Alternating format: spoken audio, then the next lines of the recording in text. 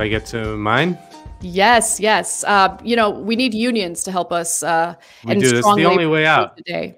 Mm-hmm. Really, it's the only way out, and that's what my segment is about. So it's been kind of a whirlwind beginning for the fledgling Biden administration. Left wing critics like ourselves have pointed out that just in the first month of the administration, the Democrats have backed off the $2,000 check in favor of $1,400 checks. Which still haven't arrived, by the way. They've backed off the $15 minimum wage, citing the Senate parliamentarians' objection, and they dropped the new type of facility for detained migrant children. They bombed Syria again. By the way, what does the parliamentarian think about that? But there is one piece of legislation that has not dominated the discourse, but it quietly passed in the House on February 4th and would now have to pass through the Senate. If passed, it would be one of the most consequential pieces of legislation in American history. It would transform the way workers in this country can organize themselves into labor unions. It's called the PRO Act, and Biden has indicated that if it does pass the Senate, he will sign it. Now, here's the part of the segment where I typically would include some sort of generic news clip that would help intro the main topic. But as I was researching the PRO Act, I found that there was basically no coverage of it on cable news outside of OAN. But I did find this father and son duo who have a YouTube channel called the Matterhorn Matterhorn Business Development. So let's have them intro the PRO Act.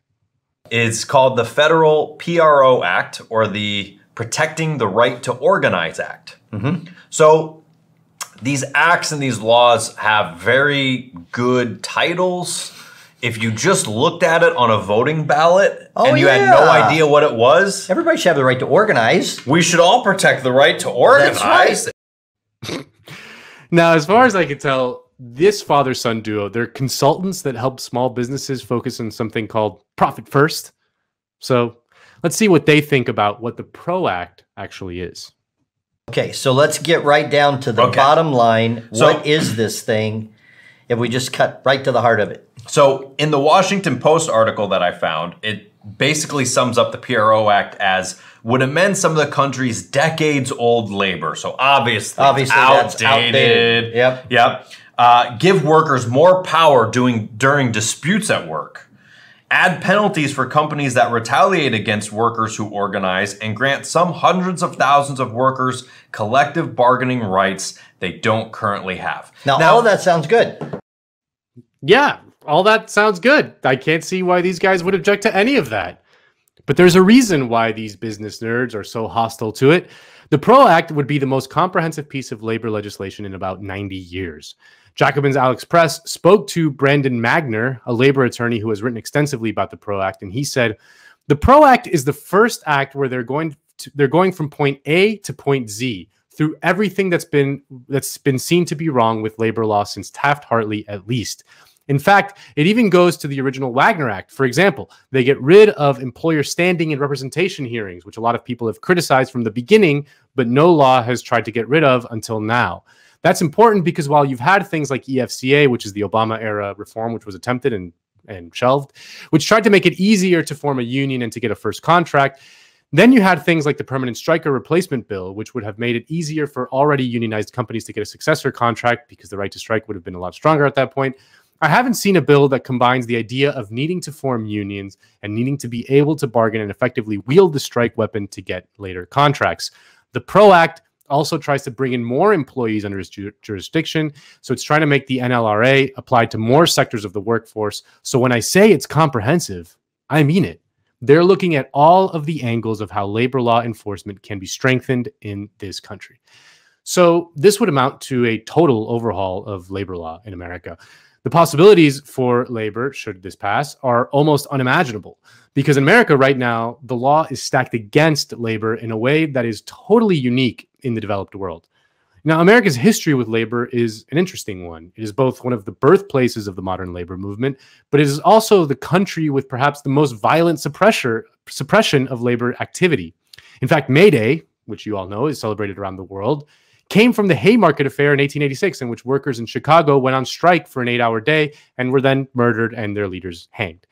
But by the 1930s, the power of labor could not be suppressed any longer. And in the midst of the Great Depression, American workers organized with a degree of militancy that we have not seen since. In 1937, during the depths of the Great Depression, there were over 4,740 strikes in a single year, the greatest strike wave in American labor history. To put that in context, there were only seven major work stoppages in 2020. And the law at the time reflected labor's militancy and power. I mean, in 1980, in 1935, FDR signed the National Labor Relations Act, better known as the Wagner Act, into law. It was the first time that the law guaranteed private sector workers the right to organize unions and bargain collectively. The result was a flurry of labor activity.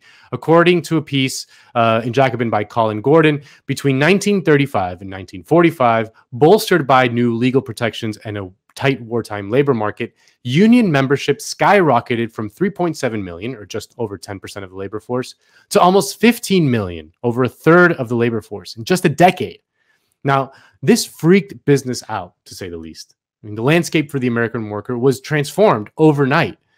The power of labor during this period of American history is the main reason why, when you think of the 1930s, you think of impoverished masses and superlines.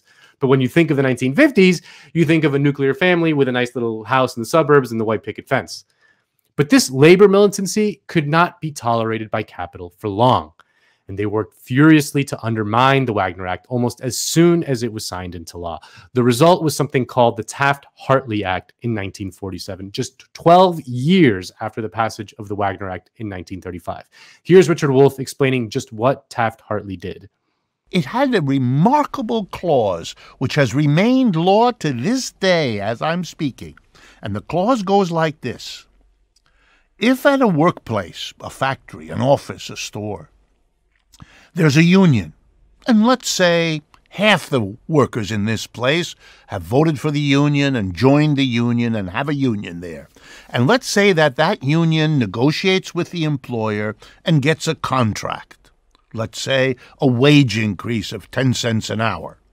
Under the Taft Hartley law, then and to this moment, that union must, must give anything it wins with the employer to all the workers there, whether they're in the union or not, whether they joined the union or not, whether they pay union dues or not. Whether when the union, if it thought it had to, called a strike and had workers go out and tell the public about their situation to help pressure the employer to meet them halfway and give them a wage increase the workers who went on strike and therefore didn't get paid had to give to all the other workers who didn't go on strike, who didn't lose a day's pay, the same benefits they won. The Taft Hartley law, in effect, created an incentive for workers not to join a union, not to pay the union dues, because they would get whatever the union won, whether they did so or not. That's fundamentally unfair, and you know it, and I know it, and the people then knew it. It was a hammer blow against the labor movement. It was a hammer blow against the labor labor movement. You know it, and I know it, and they all knew it at the time. They also, by the way, outlawed communists from being in the labor leadership, which they had been up until then. And it basically created a structure in which the labor movement was always going to eventually bleed out. And here's how Jane McAlevey, uh, here's how Jane McAlevey talks about Taft Hartley and how it wound up destroying labor solidarity in this country. She writes the quote, the ban on sympathy strikes and boycotts meant that truck drivers could no longer refuse to deliver goods to a factory where the workers were on strike. Food service workers would have to break through a picket line to prepare food for replacement workers or risk being fired if they didn't. That didn't just weaken strikes in obvious ways. There was a more nefarious psychological objective aimed at undermining human solidarity, which is an instinct that emerges when one group of people sees another in a profound in profound duress or under attack, as in a hurricane or a flood. Strikes build the same kind of bonds that events like natural disasters produce. Banning sympathy for the idea of the collective good was part of a broader long term effort to rewire humans from acting collectively to acting individually. In think tanks such as the Mont Pelerin Society, discussions were underway about the need to re socialize worker behavior to better fit conservative economists' views that people should act only out of self interest. But forcing workers into re education camps was too blunt an instrument in the United States. It was more acceptable to so slowly stoke individualism by making the default acts of human sympathy illegal and so punishable by termination. So, back to the PRO Act. Essentially, what the PRO Act would do is reverse the, reverse the nefarious legacy of Taft Hartley and go beyond it in many ways. But the question is will the Democrats actually pass it? Well, if the last 40 years are any indication, the prospects aren't great. Here's Alexander Hertel Fernandez, a researcher for the Department of Labor, on the Majority Report with Sam Seder. It's just so striking to look at how conservatives and Republicans versus Democrats have treated labor unions over the decades. While conservatives were hard at work pushing Republican lawmakers to vote for cutbacks to labor union rights, Democrats were generally on the sidelines. Um, if you look at uh, state level control, you know, Republicans, as soon as they gain trifecta control of a state government, they push for cuts to collective bargaining for public sector labor unions and right to work laws. But Democrats don't have a similar portfolio of policies that they push when they gain power across the states. There's no democratic equivalent of, say, a right to work law. And that's uh, similarly true at the national level. During the last period when Democrats controlled uh, Congress and the White House under the Obama administration, uh, the Obama administration notably let labor reform sort of fall by the wayside. There wasn't a concerted push to rebuild build that power at the federal level either. Well, the good news is that some in the later labor leadership seem to have learned their lesson. The PRO Act was really created and pushed by a union called the International Union of Painters and Allied Trades. They've led the charge from the very beginning. And in an interview with Jacobin, the vice president of the Painters Union, Jim Williams, discussed Barack Obama's betrayal of labor in 2009 when he promised to pass card check and then didn't. Williams said, We also have a pretty good memory. In 2008, when, this, when then Senator Obama, who pledged his support of the Employee Free Choice Act, EFCA, which also is known as card check, became president, he had large, larger majorities in both the House and the Senate. We had the opportunity then to pass the EFCA, but it wasn't the priority of the administration. When we met with candidates during the last election cycle, we made sure that the PRO Act was number one on our issues. And we said, if it's not in your top priorities, we'll make sure to never support you again. It's that important to us. We knew that there's going to be a lot of competing interests for legislative priorities going into a new Biden administration and going into a time period where we have slim majorities, but majorities nonetheless in both House and the Senate. So we have to hold the politicians accountable that we supported. So we wanted to get out early and get out in front because far too often labor law reform is not a public debate.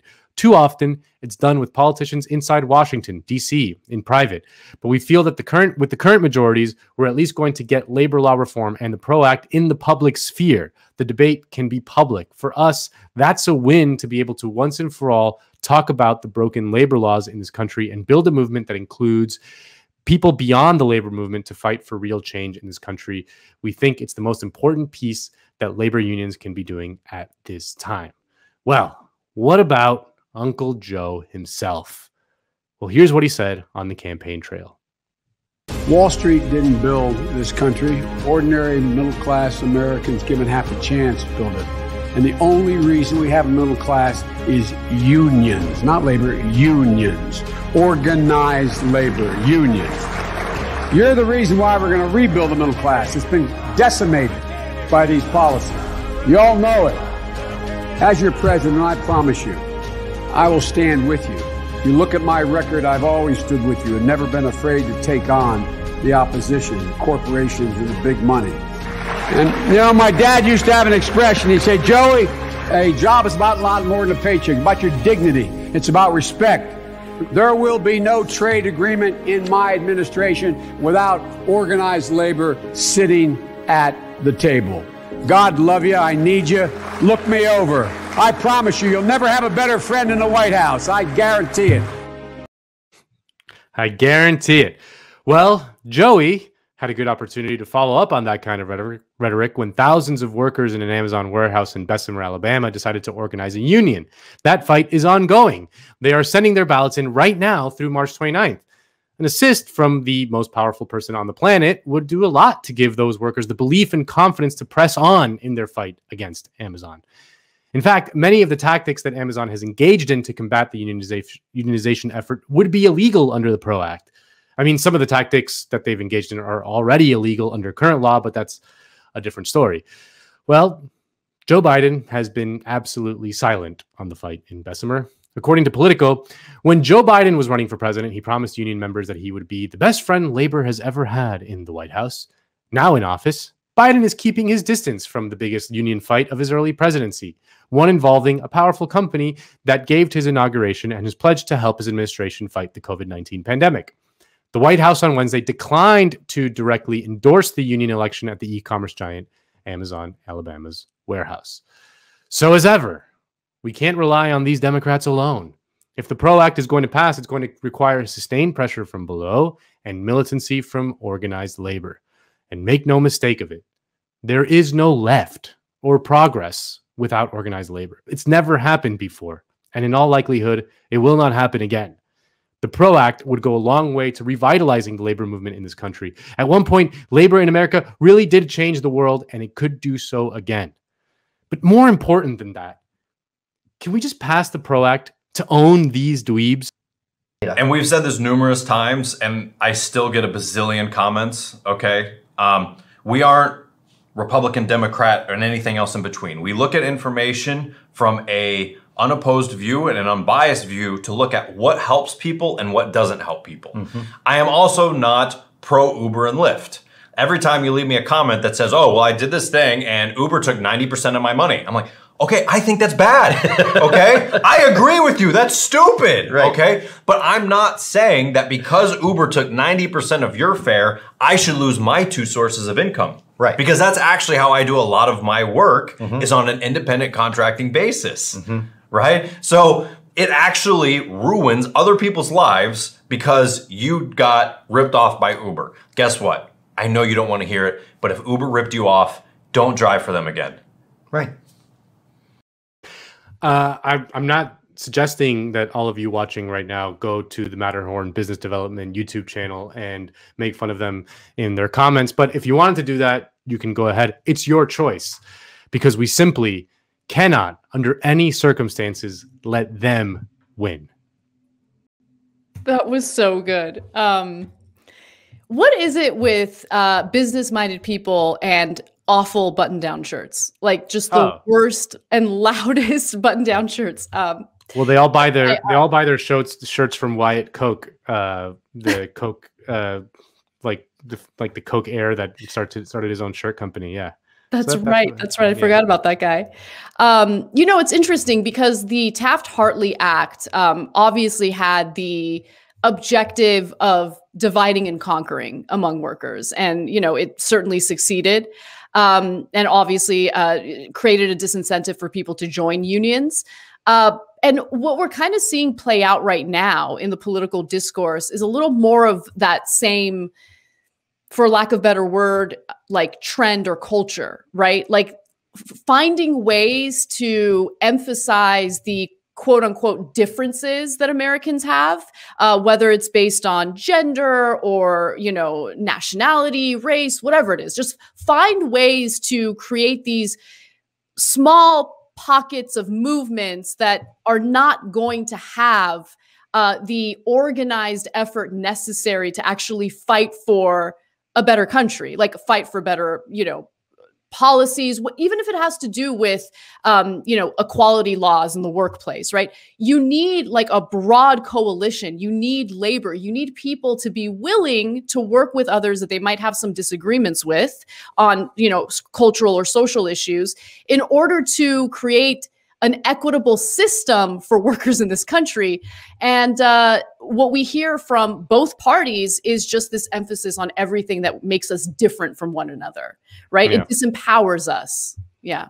Well, beyond that, it's just the only way to really flex muscle to really flex right. any sort of power is is through a labor union. Really, we can we can shout on YouTube all day, and maybe it has a little effect and stuff like that. But you know, until people kind of get organized uh, around labor unions, nothing will really change. I mean, I, I, think about the the George Floyd protests um, last summer, which seemed like forever ago.